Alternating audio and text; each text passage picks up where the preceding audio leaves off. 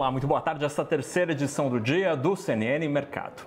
A inflação nos Estados Unidos não dá trégua. Em março, os preços subiram 0,4% na economia norte-americana e ficaram acima da expectativa dos analistas. Em 12 meses, essa alta já é de 3,5%, o que mostra a aceleração da inflação, que estava em 3,2% no mesmo período até fevereiro. Esses números todos serviram como um balde de água gelada nas apostas de corte dos juros. Neste momento, o mercado de juros futuros nos Estados Unidos indica aposta de apenas 20% dos investidores em um corte de juros no mês de junho. Até ontem, essa hipótese girava em torno de 50%. E no calor desse noticiário sobre a inflação, muita gente começa a citar setembro como um possível mês para o início da redução dos juros. Tudo isso faz strike nas bolsas americanas e derruba os índices em Nova York que operam em queda superior a 1% neste momento, queda firme. Em São Paulo não é diferente, o Ibovespa também cai mais de 1% e se distancia, assim, do patamar de 130 mil pontos. A queda entre as ações brasileiras, brasileiras é liderada pelo setor de varejo.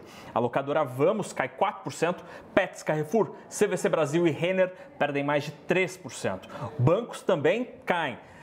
É, BTG Pactual e Santander caem mais de 3%, enquanto Bradesco e Itaú recuam mais de 2%.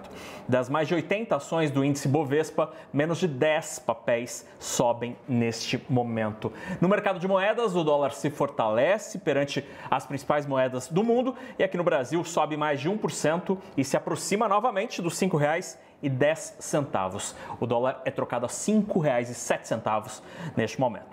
Aqui no Brasil, ao contrário dos Estados Unidos, os preços ficaram bem comportados em março. O IPCA subiu 0,16% no mês passado, no piso das previsões dos economistas. É a menor inflação mensal desde julho do ano passado.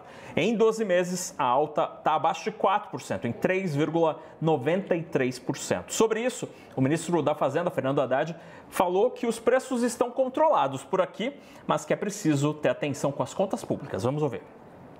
Do ponto de vista de inflação, vocês viram que a inflação veio hoje bem abaixo do previsto, ou seja, a inflação está controlada no Brasil. A gente vem dizendo isso é, reiteradamente, que a inflação está cada vez menor no Brasil. Né? Nós não estamos eh, comprometendo de maneira nenhuma uh, o compromisso com, com o poder de compra do, do salário, a massa salarial está crescendo, o emprego está crescendo, com a inflação baixa. Então nós temos um ciclo de decisões para serem tomadas. O judiciário tem nos ajudado muito. As decisões mais importantes do judiciário têm dado ganho de causa para a União, para a Advocacia Geral da União. É um trabalho. Não vai ter espaço fiscal se você não fizer esse trabalho.